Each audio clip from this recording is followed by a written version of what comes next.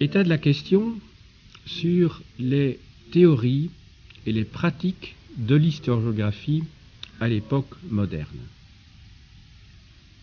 Conférence présentée à la Sorbonne en mai 1989 et publiée dans un ouvrage que j'ai dirigé avec Chantal Grel aux presses de l'Université de Paris-Sorbonne en 1990.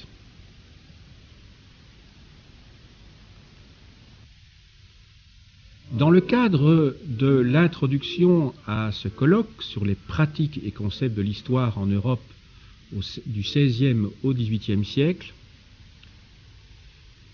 il ne peut être question de résumer l'immense bibliographie relative à l'historiographie de l'époque moderne.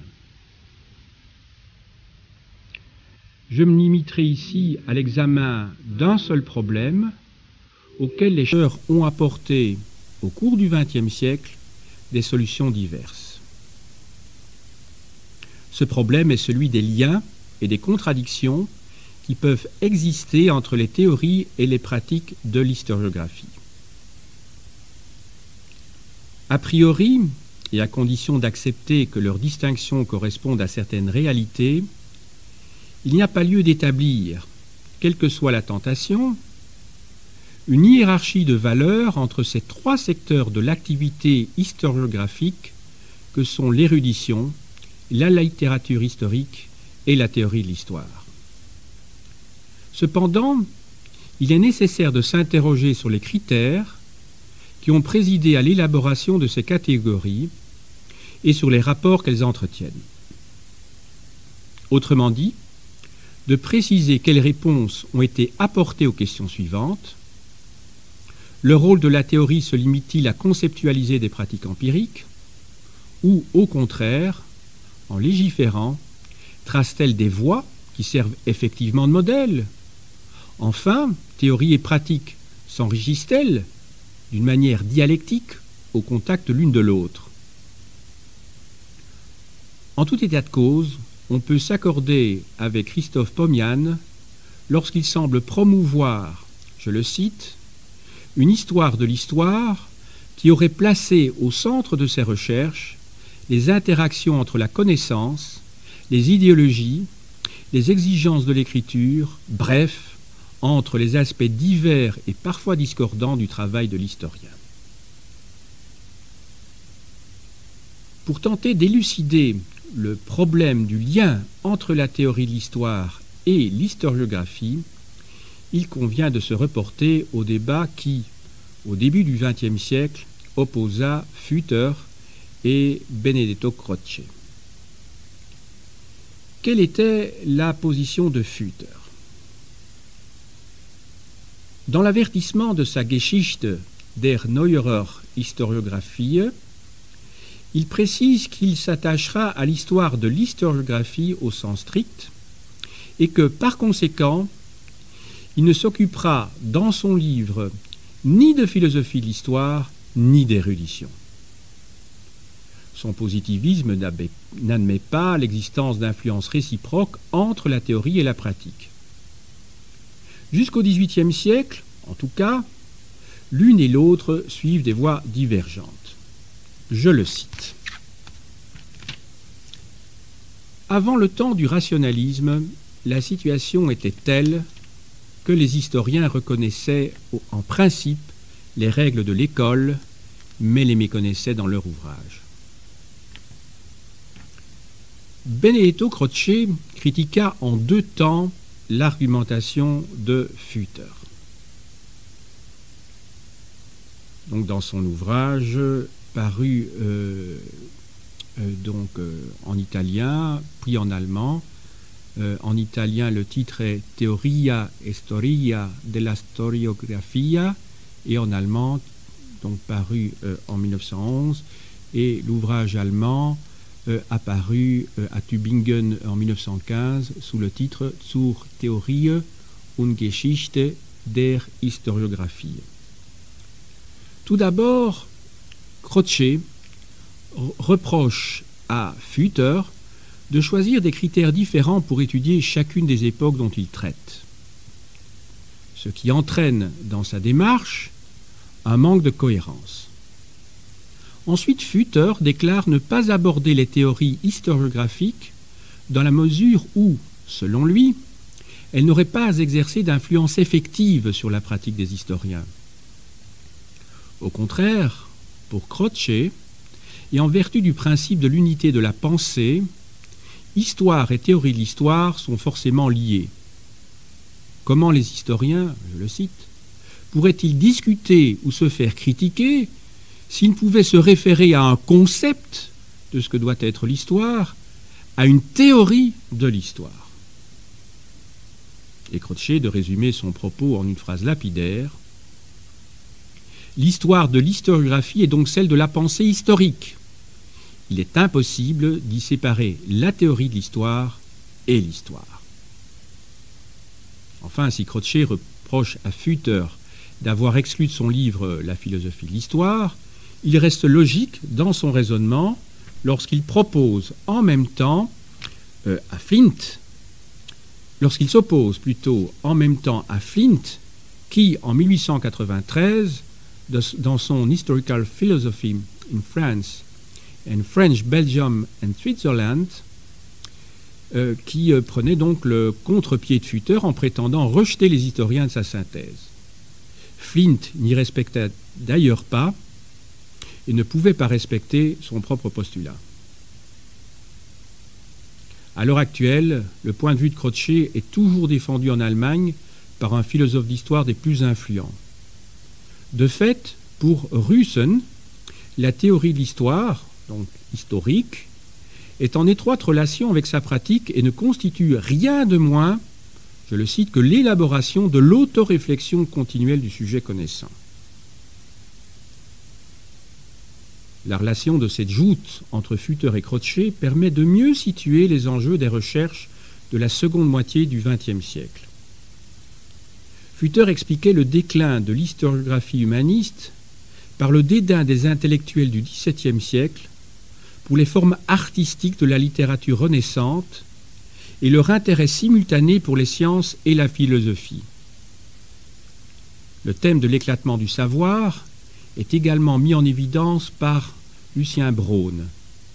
Ce dernier observe, chez les historiens de la philosophie du début du XVIIe siècle, une rupture nette avec la philosophie et l'érudition, à partir de la redéfinition de la, philosophie de Descartes, par Descartes. Kelly formule la même remarque et d'ajouter que, je le cite, d'une manière générale, l'âge du baroque fut une époque d'excès idéologique et de médiocrité historiographique, euh, et manifestement, les deux facteurs ne sont pas sans relation. J'ai donc euh, traduit euh, un de ces textes. En cela, Kelly adhère à l'opinion couramment admise selon laquelle le XVIIe siècle aurait constitué un cadre peu favorable pour l'étude de l'histoire, coincée qu'elle était entre la méfiance baconienne et le doute cartésien. Pour lui, les progrès dans l'intelligence du passé vinrent davantage d'érudits ou des érudits que des historiens et des philosophes. Quant à Blandine Barrec-Rigel, elle pousse ce raisonnement jusque dans ses ultimes conséquences. En France, l'érudition des XVIe et XVIIe siècles, en lui donnant des arguments fondés sur la critique des sources, permit le surgissement de la philosophie des Lumières. Et c'est son rejet par cette dernière qui compromit gravement et pour longtemps la recherche historique, tant du point de vue de l'étude de la Bible qu'en ce qui concerne celle des origines de la pensée politique et du droit moderne. Les thèses défendues par les chercheurs dépendent de la position qu'ils occupent à un moment donné dans le champ des savoirs. Kelly envisage l'histoire de l'historiographie en érudit. Tout autre est la position de Collingwood, qui résonne en philosophe. En 1946, il introduit le concept d'historiographie cartésienne. Certes, pour Collingwood, l'école cartésienne de philosophie fut effectivement anti-historique. Mais, paradoxalement et en même temps, les historiens furent stimulés par la méthode de Descartes. Pour les adeptes de l'historiographie cartésienne, le témoignage des autorités écrites ne pouvait être retenu qu'après avoir été soumis à un processus d'évaluation critique comprenant trois étapes. 1. Aucune autorité ne doit induire l'historien à croire ce qu'il sait pertinemment ne pas s'être passé. 2. Les différentes sources doivent être confrontées les unes avec les autres. 3. Les sources écrites doivent être vérifiées par des preuves non littéraires. En 1977, Hersch a reconsidéré les deux termes de la thèse de Collingwood. Analysant plusieurs traités théoriques sur l'histoire, il explique d'abord que le désir des historiens d'appliquer une rigueur épistémologique à la narration fut mitigé. Il montre ensuite qu'au XVIIe siècle, des philosophes se sont occupés d'histoire et qu'inversement, des historiens philosophèrent, ce qui rend caduque l'apparent paradoxe de Collingwood.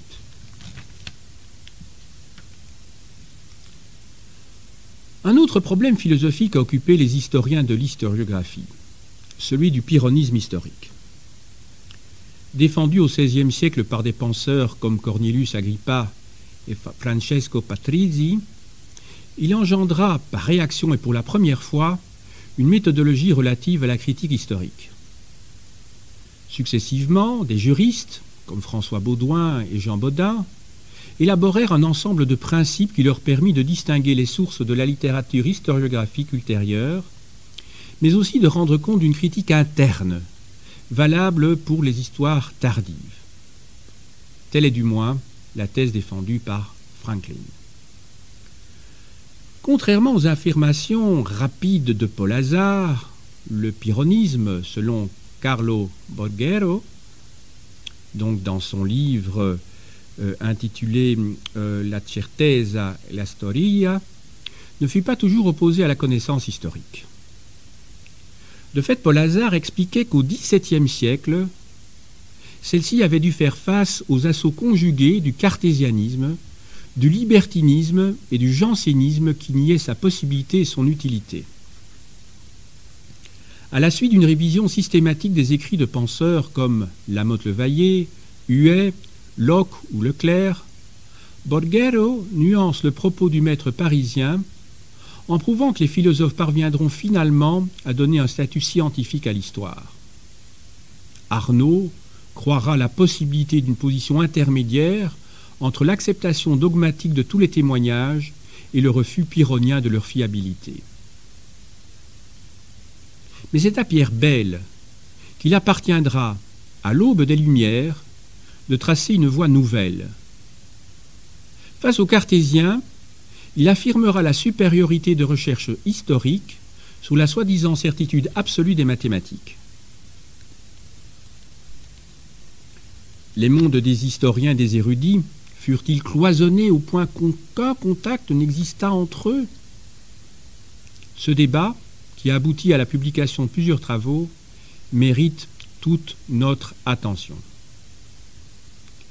Pour Girolamo Cotroneo, c'est à partir de la fin du XVe siècle.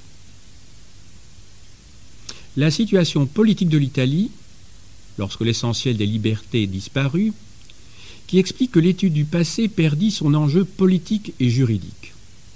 Et logiquement, un renouveau de la méthodologie historique se produisit en France lors des guerres de religion, alors que ce pays connaissait justement des bouleversements politiques. C'est précisément l'objet du livre de George Huppert que de montrer ce renouveau. Il y introduit la notion d'histoire parfaite, qui donne son titre à l'ouvrage, pour caractériser l'idéal auquel tendait, dans la seconde moitié du XVIe siècle, un groupe d'historiens français. Étienne Pasquier, Jean Baudin, François euh, Baudouin, Henri de la Popinière et d'autres. Certains auteurs tiennent pour définitive cette assertion, au point de supposer, comme Charles-Olivier Carbonel, le concept inverse l'histoire imparfaite ou baroque pour le XVIIe siècle. Quant à Arlette Joanna, elle a pris une voie divergente en nuançant la thèse de Huppert. L'historien américain a, selon elle, manifestement exagéré les traits originaux de ceux qu'il appelle les nouveaux historiens. De plus, le puissant éclairage qu'il projette sur le XVIIe siècle engendre des effets pervers. Huppert croit observer au siècle suivant une chute de l'élan novateur qui, dans sa logique, devient incompréhensible. Au contraire, existe encore, aux yeux d'Arlette Joanna, des comportements du XVIe siècle qui contredisent parfois, chez les historiens, leur désir affirmé de rendre leur méthode rationnelle. Poursuivant dans la même direction, Leffler trouve injuste la sentence que prononce George Huppert contre le XVIIe siècle français, période pendant laquelle se consommerait la rupture entre l'histoire générale et l'érudition. Pour Leffler, entre 1670 et 1713, la philosophie l'histoire changerait de manière significative. Au point de départ, la fonction de l'histoire était avant tout pédagogique. Une œuvre historique se jugeait autant par ses qualités littéraires que morales. Cinquante ans plus tard, le paysage intellectuel a complètement changé. Un livre d'histoire est un tableau de la vie humaine et de la civilisation, où la croyance dans les vérités éternelles se conjugue avec la théorie de la diversité des cultures. C'est donc dans le dernier tiers du XVIIe siècle, et non pas au cœur du siècle des Lumières, que s'effectue le tournant capital de l'historiographie à la notion d'histoire parfaite, dont se servait George Huppert pour définir l'historiographie de la seconde moitié du XVIe siècle, Leffler constitue celle d'histoire raisonnée pour la période qu'elle étudie. Ce genre est défini comme une forme d'écriture dans laquelle les auteurs tentent de fondre harmonieusement l'érudition, le commentaire moral et les qualités littéraires. dès 1950, Arnaldo Momigliano empruntait cette voie lorsqu'il affinait les catégories d'intellectuels s'intéressant au passé. À la fin du XVIIe et au début du XVIIIe siècle, les historiens visaient souvent les mêmes objectifs que les antiquaires, à savoir l'établissement des faits.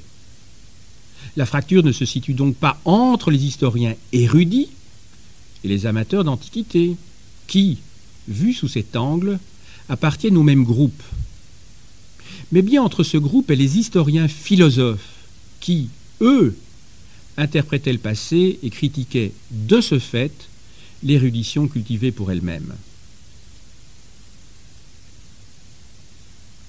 Certains lieux communs ont la vie dure. Sans être étayés par de solides démonstrations, ils se perpétuent dans les travaux et les synthèses ainsi du prétendu mépris des historiens au XVIIe siècle pour les érudits de leur temps, cliché que l'on rencontre par exemple dans la synthèse de Georges Lefebvre, La naissance de l'historiographie moderne. Après avoir examiné attentivement les auteurs cités dans les histoires générales de la France, Tivard a pu dénoncer ce topos. Si effectivement, conclut-il, les historiens français du XVIIe siècle abandonnent certaines sources, il n'en demeure pas moins qu'à côté de plus anciennes, ils en ont utilisé de nouvelles. Par conséquent, on aurait exagérément forcé les contrastes d'une scène où les historiens et les érudits se tourneraient le dos. Pour éclairer les choses d'une lumière nouvelle, il suffit parfois d'inverser les termes de la comparaison. Étudier les relations entre historiens érudits à l'âge classique nécessitait une double démarche. Revaloriser le labeur des premiers en lui donnant sa juste place, mais aussi souligner les efforts littéraires des seconds. C'est la tâche à laquelle s'est attachée Françoise Vaquet. Dans une optique parallèle à celle de Tivard, Elle a mis en doute l'affirmation selon laquelle, je la cite, un divorce serait opéré au XVIIe siècle entre une histoire devenue littéraire et une juridiction qui par conséquent ne le serait pas. En majorité, les érudits ne dédaignèrent pas, dans leurs travaux, les préoccupations stylistiques. Mais à la différence des éloquents, il est subordonné à l'établissement et à l'exposé précis des faits. Le livre de George Huppert, auquel on se réfère si souvent depuis 1970, ne constitue en fait que le pendant d'un ouvrage plus ancien, et peut-être plus important, de Smith Fusner, relatif à l'Angleterre.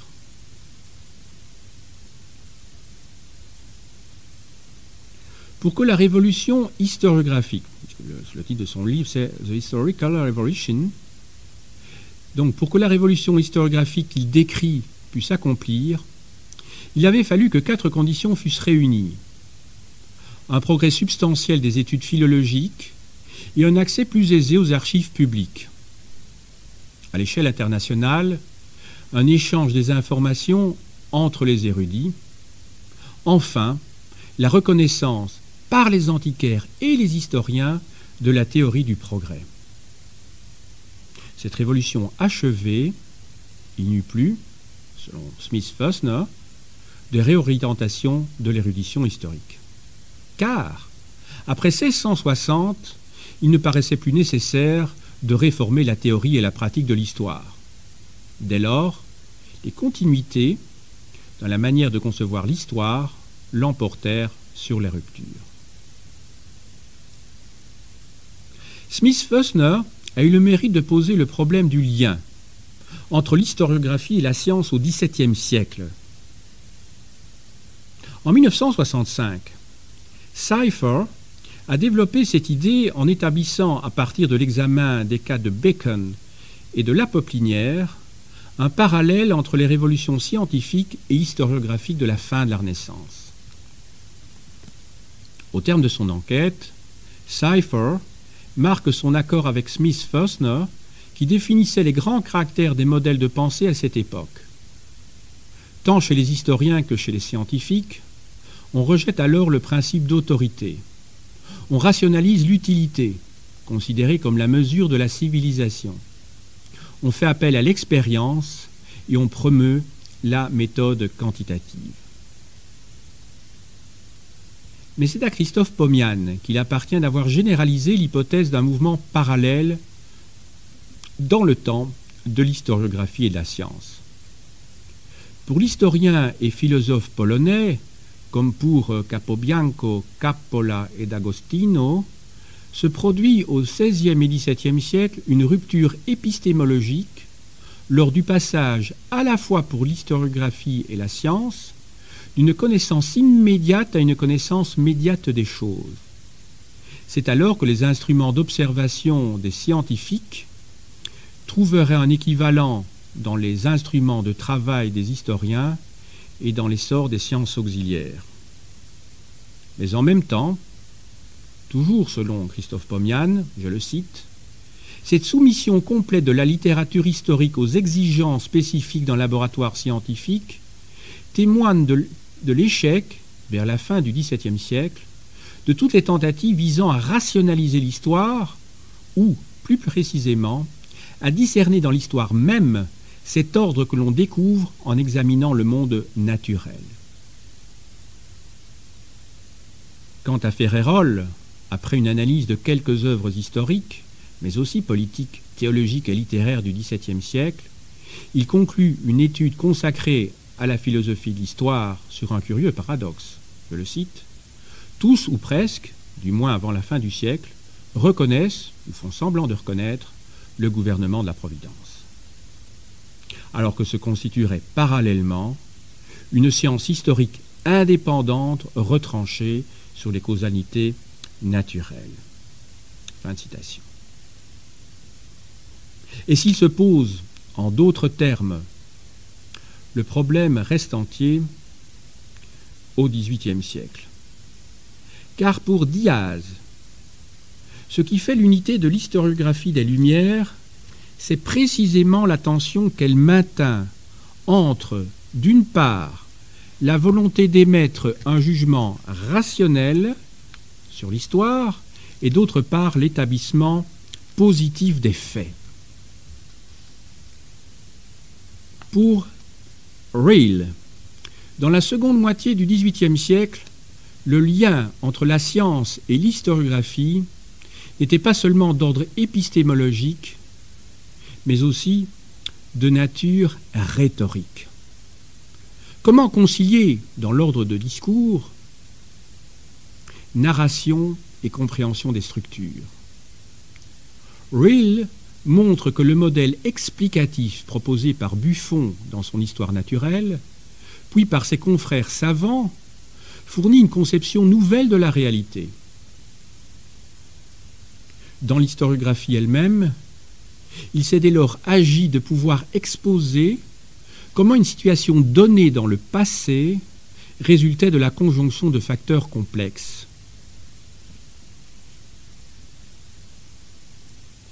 La notion de rupture épistémologique qui apparaît chez Christophe Pomian, Capobianco et Rill nous conduit tout naturellement à cet ouvrage euh, fondateur de Michel Foucault que sont les mots et les choses, paru euh, en 1966.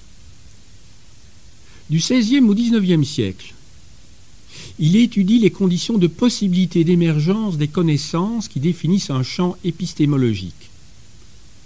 Ce qui permet l'épistémé classique, qui prend forme au milieu du XVIIe siècle, c'est d'abord le rapport à une connaissance de l'ordre. Cet ordre ouvre la voie aux identités et aux différences successives. Dès lors, l'historien posera pour la première fois, selon Foucault, un regard minutieux sur les choses elles-mêmes. Mais il faudra attendre le XIXe siècle, avec la seconde rupture fondamentale de la culture occidentale, pour que l'histoire devienne le lieu privilégié d'observation du réel.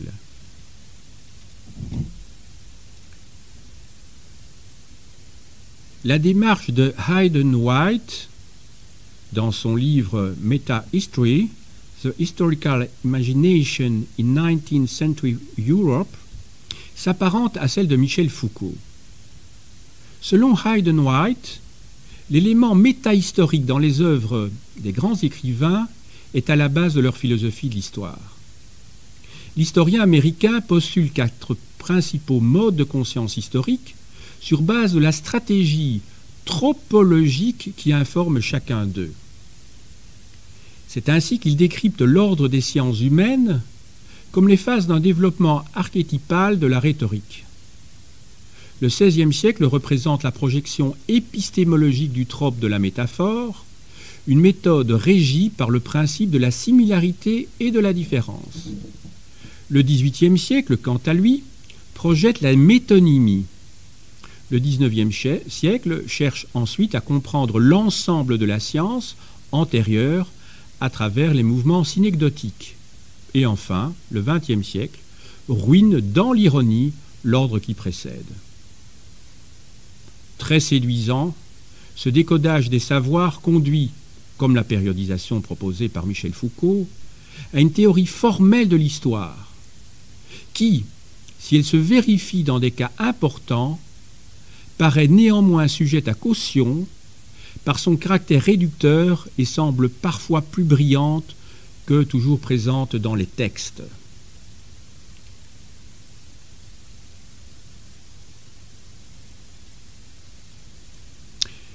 Dans cette introduction au colloque que j'organise ici avec mon ami Chantal Grel à la Sorbonne sur les pratiques et concepts de l'histoire du XVIe au XVIIIe siècle, Seules quelques questions ont été envisagées. Ces interrogations ont donné lieu à des réponses diverses et nourri bien des controverses. Comme les autres sciences, l'histoire de l'historiographie progresse grâce au labeur des érudits modernes, mais aussi, et peut-être surtout, grâce au regard neuf qui est porté sur des objets anciens. Ce sont les découpages nouveaux des savoirs et, corrélativement, les mises en situation de phénomènes considérés antérieurement comme hétérogènes les uns par rapport aux autres qui permettent l'émergence de synthèses nouvelles. Plus que tout autre historien, l'historiographe est pris entre, d'une part, son désir de singulariser son objet d'étude, et donc de trouver des ruptures dans le passé, et, d'autre part, son sens du relatif, qu'il incite toujours à la prudence, et souvent même au scepticisme quant à l'utilité de son activité. Car il sait qu'il n'est lui-même qu'un maillon d'une chaîne, et que ses explications, au moment même où il les formule, sont déjà devenues des objets d'histoire. Cependant, ces explications sont porteuses de sens, et cette donnée justifie, à elle seule, son travail et sa réflexion.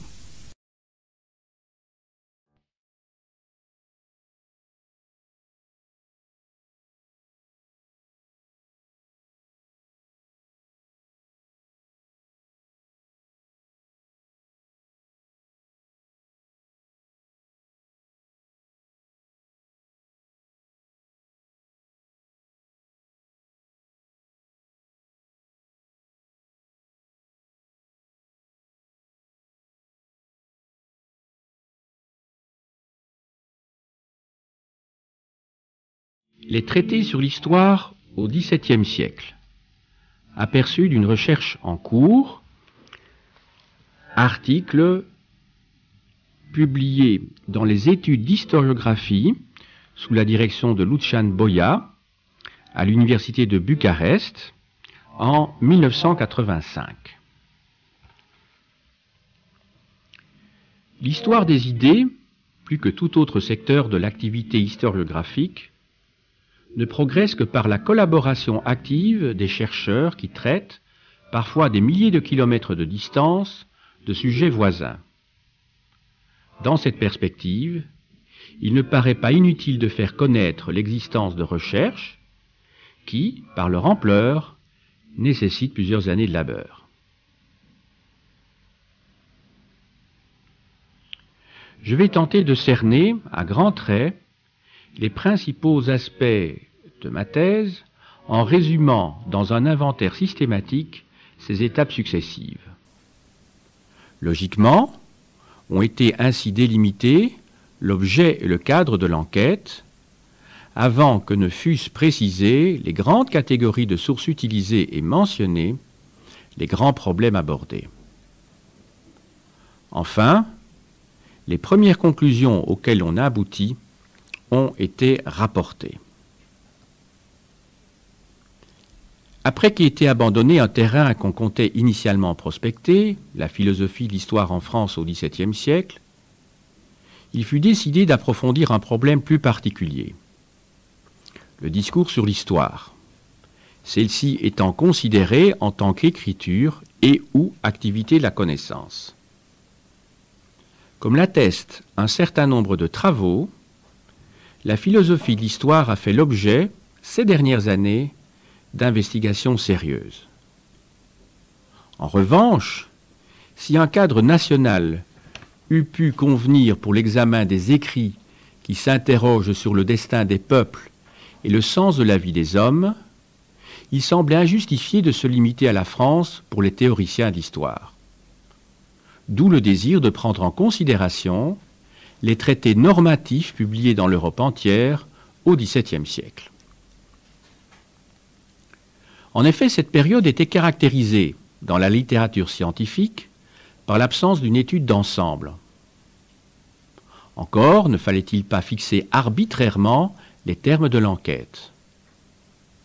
Un certain empirisme a cependant présidé à la démarche entreprise. Le point de départ, début du XVIIe siècle, fut, dans un premier temps, choisi essentiellement pour des raisons d'ordre bibliographique. Une édition anastatique d'Artes Historicae et deux synthèses portant à titre principal sur le XVIe siècle avaient, de fait, été éditées en 1971 et 1972. Par contre, cet argument ne pouvait être invoqué pour l'établissement du terminus ad quem. Si le projet d'un traité sur l'histoire de Fénelon, 1714, paraissait marquer un tournant, il était aussi évident qu'il n'y avait pas de rupture brutale. Certains courants de pensée avaient persisté naturellement en plein âge des Lumières. Finalement, il a semblé judicieux de s'arrêter sur les dates de 1610 et de 1713. Celle-ci s'explique par la publication, un siècle de distance, de deux listes d'ouvrages normatifs par Bartholomé Keckermann, qui vit de 1572 à 1609, dans son De Natura et Proprietatibus Historiae Commentarius, et par Nicolas Langlais du Frénois, né en 1674 et décédé en 1755, dans sa méthode pour étudier l'histoire. Les bibliographies raisonnées et commentées que ces traités importants contiennent constituent de véritables bilans de la théorie de l'histoire des XVIe et XVIIe siècles. Deux grandes catégories de sources ont été particulièrement mises à contribution. D'un point de vue quantitatif, une cinquantaine d'artes historicae dans lesquelles on sont édictées les règles à suivre pour l'écriture, l'étude ou la lecture de l'histoire, et une vingtaine de dissertations de leçons inaugurales présentées dans des universités ont fait l'objet d'un examen attentif. Les discours sont généralement liés à la création d'enseignements spécialisés qui portent sur l'histoire ecclésiastique, l'histoire du droit ou l'histoire universelle. En fait, les seuls consacrés à la discipline historique. Dans le secteur de l'épistémologie, ont été surtout approfondies, outre les questions de la définition, de la justification et de la fin de l'ars historica et de l'historiographie, champ, rôle et place de celle-ci à côté des autres arthèses et des autres activités de la connaissance, celle de la classification du savoir historien de la vérité, de la causalité de la finalité de l'histoire. Le terme est pris ici dans son sens objectif l'évolution du traitement de ces problèmes et leur résolution, influence ou non de courants de pensée comme le cartésianisme ou l'augustinisme, reste au centre des préoccupations de la thèse. Dans quelle mesure les auteurs des écrits théoriques s'interrogent sur la critique des témoignages, quelle place ils réservent à l'enseignement d'histoire et quelle forme ils lui confèrent sont encore d'autres matières fondamentales sur lesquelles on s'est penché. Toutefois, il ne faudrait pas oublier que l'histoire apparaît bien au XVIIe siècle comme un genre littéraire qui possède ses règles propres et qui se définit par celles-ci. Dans les traités, les réflexions consacrées à la forme du discours sont donc très nombreuses. Et l'étude des commentaires sur le style de quelques grands représentants de, l'historiographie ancienne ou moderne contribue à cerner les images idéales de l'historien du XVIIe siècle. Dans le même ordre d'idées, on a tenté de préciser ou de nuancer la thèse relative à la subordination du vrai à l'utile et à l'agréable dans la conception du récit historique. Bref, l'approche par les auteurs de la notion d'histoire à laquelle on s'est particulièrement attaché peut être tantôt historiographique, tantôt épistémologiques. Il s'agit pour eux de retracer les vicissitudes d'un genre et d'en repérer la spécificité. Enfin, tout au long de la lecture des traités, ont été recherchées les sources de la pensée des théoriciens de l'histoire, qu'elles soient anciennes ou modernes, explicites ou implicites, afin d'établir des filiations ou des ruptures et d'essayer d'élucider des silences. Bien entendu, il serait intéressant de savoir dans quelle mesure les écrits normatifs du XVIIe siècle reflètent une pratique réelle de leurs auteurs, et inversement, de s'interroger sur l'application effective des principes qu'ils énoncent dans leurs propres ouvrages historiques. Cela dépasserait largement le cadre de ce travail. Par contre, des sondages ont été effectués au milieu et à la fin du XVIIIe siècle et même dans la première moitié du XIXe siècle, pour tenter d'apprécier la postérité des œuvres étudiées. Cette démarche pour être prolongée par un examen de la diffusion et de la réception des idées qu'elle véhicule, en repérant les auteurs qui, dans le secteur de l'érudition et de l'historiographie proprement dite, se réfèrent aux théoriciens. Dans l'état actuel de l'enquête, il est déjà permis de proposer quelques résultats.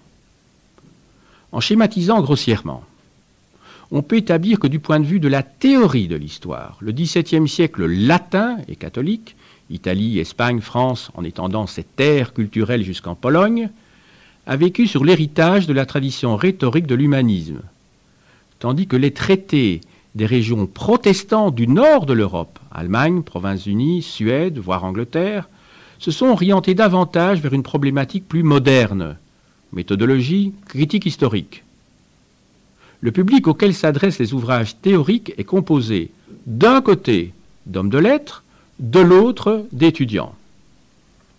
En ce qui concerne l'Allemagne, la tendance qui se dessine serait à mettre en relation avec le progrès des études historiques au XVIIIe et XIXe siècle dans le cadre des universités. On n'ignore pas que les concepts de mutation ou de crise ont souvent figé d'une manière trop radicale les traits d'une période qui est parcourue, en fait, par des, courants de pensée très différents. Il apparaît cependant clairement que l'ars historica, qui avait connu son âge d'or dans la seconde moitié du XVIe siècle, fut marqué par un déclin certain pendant le siècle suivant.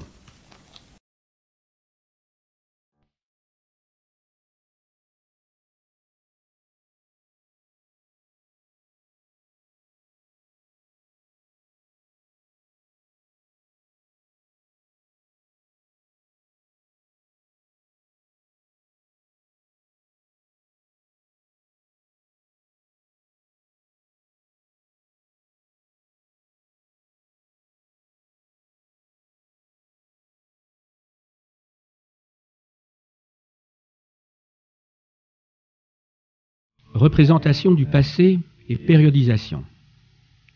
Cette communication a été euh, présentée au Sénat euh, devant l'Association des anciens parlementaires le 22 janvier 2001.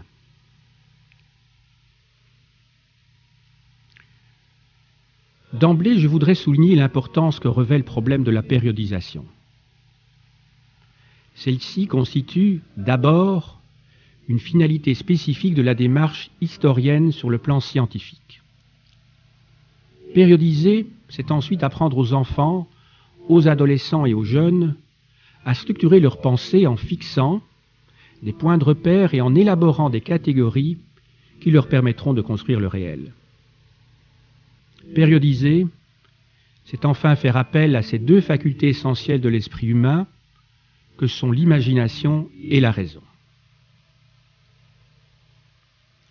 Un professeur d'histoire n'est rien de moins qu'un spécialiste d'une espèce animale qui, selon les estimations de certains, aurait connu, depuis 3 millions d'années, près de 100 milliards d'individus.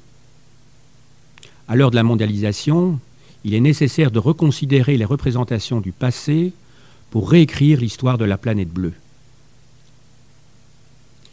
Je voudrais présenter ici quelques expériences pédagogiques menées successivement comme professeur de l'enseignement secondaire puis normal dans le cadre de la formation de régents littéraires. Il s'agit de sondages qui, à l'origine, n'avaient pas de visée scientifique. En début d'année, j'ai l'habitude de demander aux élèves et aux étudiants de travailler sur les représentations du passé. La méthode est empirique. Les objectifs sont clairement pédagogiques. Les étudiants répondent à un questionnaire, remplissent une grille d'analyse ou élaborent un texte concernant une période étudiée dans l'année. La préhistoire renvoie, je cite les thèmes les plus fréquemment répétés, aux grottes, au feu, aux cris, à la puanteur et à l'homme de Cro-Magnon. L'Antiquité dans l'ordre aux pyramides et aux Romains en privilégiant Jules César le Moyen Âge au château fort, à la boue, à la puanteur, au bruit de sabots de chevaux, au combat d'épée à Charlemagne. Les temps modernes évoquent plus précisément l'histoire de France avec, à l'avant-plan, Louis XIV. Cette époque est particulièrement inventive. Rapprochons-nous du présent. Le XIXe siècle est peu connu. Quant au siècle suivant, il renvoie Hitler au nazisme très peu au sens. Oui, odorat, vu. En revanche, le domaine des sentiments et des émotions paraît davantage investi angoisse, envie, attente, bonheur, amour et aussi musique. Et deux pays sont particulièrement à l'honneur, la Belgique et, inévitablement, les États-Unis. Le proche passé, c'est-à-dire les cinq dernières années, est lié, ce n'est pas une surprise, à des événements qui, a priori, ne paraissent peut-être pas marquants aux yeux du généraliste, mais qui, sans aucun doute, le sont pour l'historien de la société ou des mentalités. Ce qui est retenu, ce sont des faits médiatiques, en premier lieu malheureux, comme les catastrophes naturelles ou les drames personnels, affaire Julie et Mélissa. Abordée de cette manière, l'étude du présent est particulièrement édifiante. Elle permet de mesurer la perception des problèmes de notre temps qui déterminent presque toujours les interrogations portant sur le passé. Quand on est professeur d'histoire, on doit aussi travailler sur les représentations du futur. Depuis quelques années, j'ai senti une évolution dans les réponses des élèves. En 1994-96, le futur était perçu négativement, alors qu'en 2000, l'absence de vision domine. Il y a beaucoup de vide et de points d'interrogation. Ce n'est pas l'avenir collectif qui est évoqué, c'est le futur individuel, qu'il soit familial ou professionnel. Manifestement, on assiste à un repli sur la sphère privée de l'existence. Replacés dans la longue durée, les phénomènes de mentalité sont instructifs. Comparons les résultats empiriques de mes investigations avec un sondage réalisé dans les règles de l'art en avril 1968 auprès de 1000 lycéens français. Les 12-13 ans avaient une vision très optimiste, très positive du progrès technique, alors que les 16-17 ans faisaient part de leur inquiétude éthique et écologique. En 30 ans, l'instant semble avoir pris le pas sur la longue durée et les grands débats. Dans toute cette enquête, ce qui est surtout intéressant d'identifier, ce ne sont pas seulement ou tellement les thèmes abordés que ceux qui n'apparaissent pas les seuls événements relevés appartiennent exclusivement à l'histoire militaire ou politique. Rien sur l'histoire de la société, de la culture et de la religion. De plus, les représentations sont très européocentristes. Il n'est presque jamais question des civilisations chinoises, indiennes, africaines ou précolombiennes. L'islam fait toutefois, logiquement et heureusement, exception.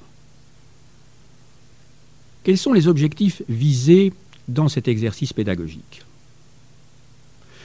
Tout d'abord, faire émerger les notions d'événement et de période. Or, qu'est-ce qu'une période? Périodiser consiste à dépasser la diversité des événements dans des perspectives qui transforment la simple succession des faits en connexions significatives. Une époque est, dès lors, caractérisée par un ou plusieurs phénomènes tenu pour agissant ou typique. Très rapidement se pose un problème philosophique. Quelle est la structure, voire l'essence de la période considérée? Tous les historiens et professeurs d'histoire sont d'accord. La périodisation conventionnelle, Antiquité, Moyen Âge, temps moderne avec le rapindice, l'époque contemporaine, n'est pas opératoire. Pourtant, on l'utilise par commodité. Elle est née dans un contexte déterminé. La Renaissance des XVe et XVIe siècles avait des considérations strictement éthiques. En fait, ce que les humanistes construisaient lorsqu'ils ont créé la division tripartite de l'histoire, ce n'était certainement pas une théorie scientifique.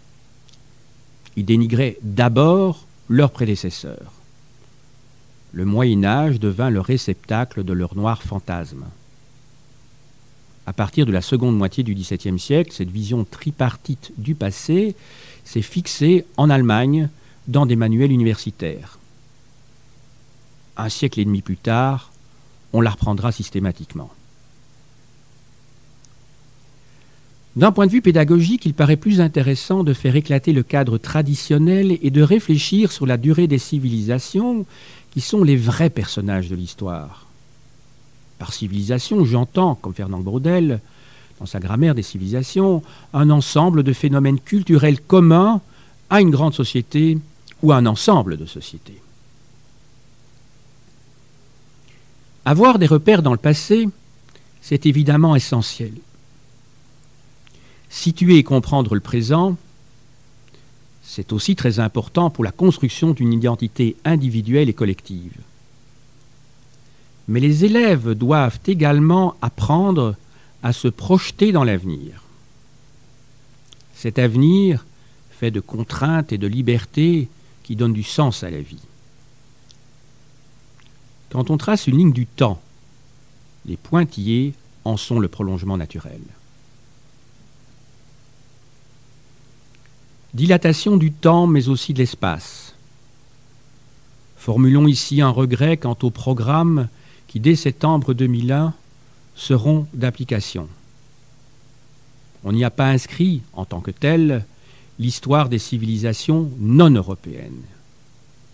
Il ne s'agit évidemment pas de tomber dans un encyclopédisme aride qui, à plusieurs reprises, a été dénoncé. Néanmoins, il est invraisemblable que les deux cinquièmes de l'humanité, à savoir un million, euh, milliard 300 millions euh, de Chinois et un milliard d'Indiens, n'aient pas, dans nos manuels, la place qui leur revient. Ces peuples, ou plutôt ces multiples peuples, ont vécu une longue histoire. Trop souvent, on aborde l'histoire de la Chine avec Mao et celle de l'Inde avec Gandhi. Si on veut préparer les enfants les adolescents et les jeunes au XXIe siècle, il est indispensable d'étudier ces sociétés pour supprimer les malentendus et pour éviter des guerres. Avant le premier conflit mondial, les instituteurs prussiens et français ont fortement contribué à l'émergence et au développement d'un sentiment patriotique exacerbé. Souvenons-nous, en outre, du dialogue entre Chang et Tintin dans le Lotus bleu, où l'un et l'autre font état, font état de préjugés de leurs pays respectifs. L'Europe occidentale occupe certainement une place considérable dans le passé récent de l'humanité, mais elle n'est, in fine, qu'un petit cap, un Finistère, au bout de cet immense continent si riche d'histoire et d'avenir qu'est l'Eurasie. En travaillant avec les élèves sur leur représentation du passé, il s'agit au premier chef de reconstruire la réalité, c'est-à-dire de réduire, sinon d'éradiquer totalement l'écart entre leurs préjugés et l'état actuel des travaux scientifiques. Tout se fixe à l'école primaire et dans l'enseignement secondaire inférieur. Il est donc primordial que les, instituteurs et les régents bénéficient pendant toute leur carrière professionnelle une formation intellectuelle solide, à jour, pour éviter que, dans les classes, ne se répètent pendant des décennies des vieilleries, des lieux communs, plus grave encore, des erreurs en déphasage complet avec la recherche archéologique et historique qui progresse à grands pas.